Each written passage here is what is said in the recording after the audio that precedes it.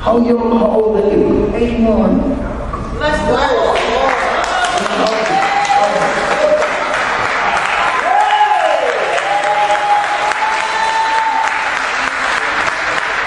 Huh? I wanted to come because looks like Satan trying to come against everything I touched. It was one of love, and I wanted the Lord to help me. He's even come against my finances with Social Security and everything else. And I'm a good woman. A widow. But you know what? Now you have the principal one. You have the basic houseman now. He's serving Jesus.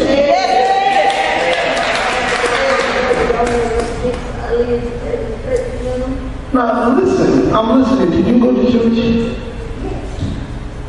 What was the name of the? Love the Lord. Thank you. He's my help. I'm present help in time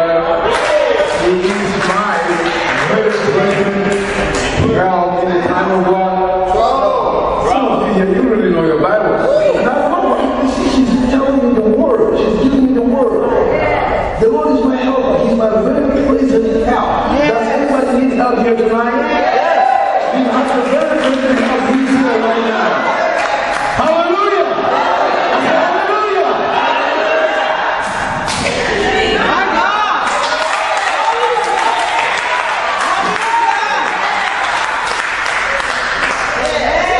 Tonight, when I lay my anointing hands over you, every bound from Hey! the top of your head down to the sole of your Jesus.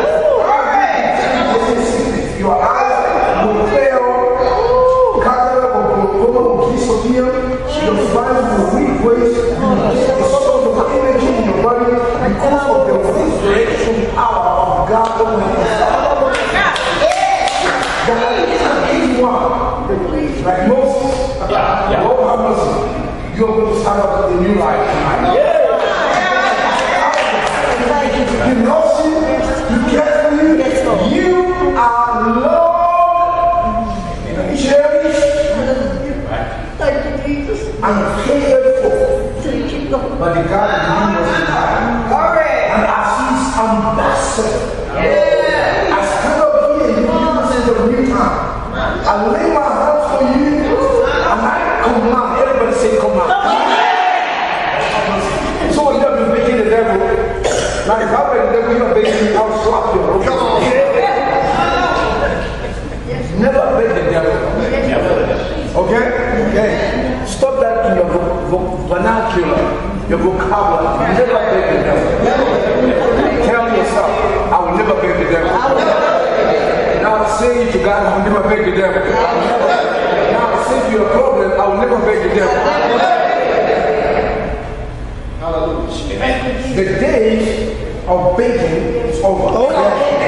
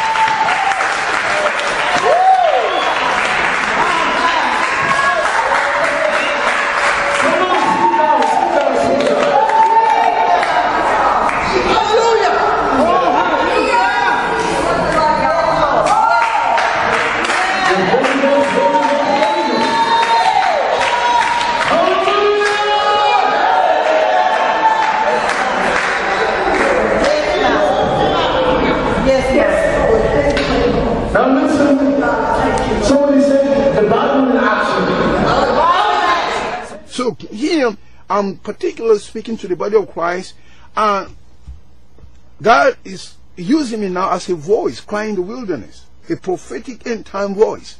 Yes, we are seeing uh, restoration of a lot of things, and God wants us to speak loud and clear, call the people of God into repentance. Because the church of Christ right now is so contaminated. I'm not saying everybody's doing it, God forbid. That's not what I'm saying. But the trend at which we're going now, if we don't have somebody to put the foot on the pedal or brakes pedal, we are really uh, driving ourselves into eternal destruction uh, uh, uh, um, without any remedy. But thank God that Jesus Christ, by His Spirit, is allowing instruments that He has chosen to stand up and stand on the Word of God without compromise. And I don't want to compromise. I'll tell you the truth the way it is. It is left to you and to me and anyone listening, whether we submit to God and see His blessings or we resist God and rebel against Him and incur some you know, punishment or chastisement and even destruction is left to us. Amen. So we are going to continue now uh, from where I stopped in the last broadcast. Um, I've been going back and forth really in the Gospel of Matthew chapter 3, uh, verses 31 and 32. Then Gospel chapter 9, uh, sorry, the Gospel of Matthew. Matthew, let me repeat that, Matthew chapter 5, verses 31 and 32. Then Matthew chapter 19, verses 1. Uh, almost, you know, throughout the entire chapter, you will see uh, the topic we've been dealing with, and then the Gospel of Mark chapter 10, verses 1 to 12 and I'll go to First Corinthians chapter 7 as well as the book of Romans chapter 7. We're going to see a lot of things really in the Word of God, and I'll be sharing even again. I'm giving you some of these references very quick in case I forget them. You can go take your Bible. Don't just believe what I'm telling you. You know, read it from the Scripture for yourself. If I'm adding anything or subtracting anything from the Word of God, don't listen to me. But if I'm telling you, you know, the truth the way it is, out of love and compassion with wisdom, then stick with the word of God and defy every advice and counseling anybody and any expert that will come out and try to tell you to disobey God. Don't listen to them. That person will endanger your life. I don't care whether it's a preacher or it is a politician telling you to do whatever God tells you not to do. So we will be seeing here, we're talking about, um, uh, let's read it together before we delve uh, uh, into uh, uh, the explanation without even changing anything uh, from it, you know, the explanation of the Word of God, because the Word of God explains itself. Amen. So uh, let's see it again in uh, Matthew chapter 5, verses 31 and 32. And Jesus here um, was teaching about family and marriage, and particularly marriage, God's way, God's uh, original plan about marriage and family. He says here, it has been said, Whosoever shall put away his wife, let him give her a writing of divorce or divorcement. That's uh, the King James Version. Then verse 32 says, But I say unto you, that whosoever shall put away his wife, save or except for the cause of fornication, causeth her to commit adultery. And whosoever shall marry her that is divorced committed adultery.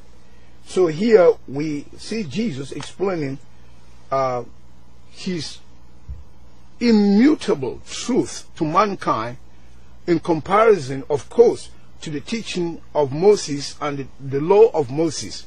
Moses was the one, and we saw the reason why uh, he finally authorized or allowed men, um, uh, the men of Israel, when they were leaving Egypt, heading to the land of Canaan, the promised land, and uh, the, they were, there was a lot of tension. As you know, the, the people of Israel saw tremendous miracles from God, but from time to time they were tested here and there, traveling, you know, in wilderness, and it was really tough for them. But it's not justifiable either. So Moses finally, uh, uh, he should have consulted with God. Uh, when he, as being a, a prophet of God, a leader, and a spokesperson for the people as well, a spokesperson for God. He should have consulted God on that matter, but Moses went ahead under pressure. He allowed the people, he said, Look, if you are fed up with your wife, you know, give her the certificate of divorcement here. And so he was talking to men particularly. It was a men dominant type of culture then. And so men were the ones initiating much of the divorces. And so Moses gave them the authorization, and Jesus clearly said, even though he knew Moses was wrong, he didn't put the blame totally on Moses, he put the blame where it belonged. He said, It is you, the man, because of the hardness. Your heart was so hard, like iron, like metal. That's why Moses finally capitulated to allow you to do that. Then Jesus said, But in the beginning, it wasn't that way. So when Moses wasn't even there, the Father and the Son and the Holy Ghost determined what had to be done. So Jesus was telling them, let's go back to the beginning. And do you know what? Even when we come to the culmination of this civilization and man uh, style of rule, Jesus is going to take us back to original position that he had with his Father and the Holy Spirit. We're going to go back to origin. He's going to re reinstate what he intended for Adam and Eve before they fell into sin. So Jesus was telling them, yeah, you might have thought that the law of Moses allowed you to go ahead and divorce, but I, grace, the law of grace now is telling you you cannot do it this way. So we're seeing grace and the law of Moses going hand in hand. Moses simplified the situation of divorce and you know in a family and remarriage. I mean divorce particularly, but Jesus now clarified the whole thing. He said Moses might be the messenger that we use, but I am the Lord of the house. I'm the boss. I have the final say over Moses. I have the final say over any archangel or any angel. I have the final say over Abraham, over Noah, over Abel, Cain, Adam, any human being. Paul, Peter, Solomon, Samson, and David, and any one of the giants of faith that we know of, Jesus has the final say so. Because he is God, he's not man. So here we see Jesus explaining now one condition that will warrant, will allow divorce. And he said, let me read it again in two passages before we understand his mindset, where he was coming from. In fact, if you understand the condition he has said here, literally he's telling you I'm putting a padlock on even divorce. You will see that it's, it's almost like he's taking you back to saying that I'm not going to allow you to divorce anyway, and particularly to remarry. We read in the book of Malachi, God says he hates it. He hates divorce. So here, let's see what Jesus said in that uh, chapter 5 and verse 32. But I, Jesus, I, grace, say to you that whosoever shall put away his wife, saving or except for the cause of fornication. Fornication is a key thing here. Jesus mentioned the word fornication a lot of different versions, Bible versions we're having today are putting different kinds of interpretation. They're putting a spin on that word. Some are saying adultery, and that's not what Jesus said. Because you can see here, he said, except for fornication, if not, you cause her to commit adultery. Jesus knew the difference between fornication and adultery. If you don't understand, you go and take any Bible, you know, dictionary and see it. And I've explained it in the previous broadcast here.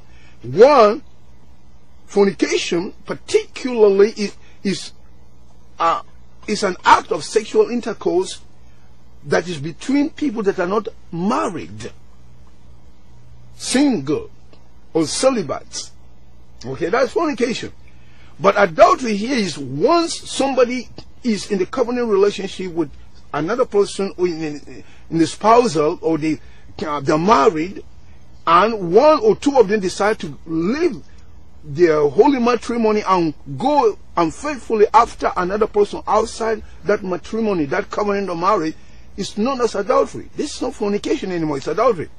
Then Jesus also mentioned that if a man looks at a woman lustfully in his heart, saying, if you know, if I had a chance, I would have loved to sleep with this woman. Already in your heart or my heart, if we think that way, we have already committed adultery. That's how he defines it.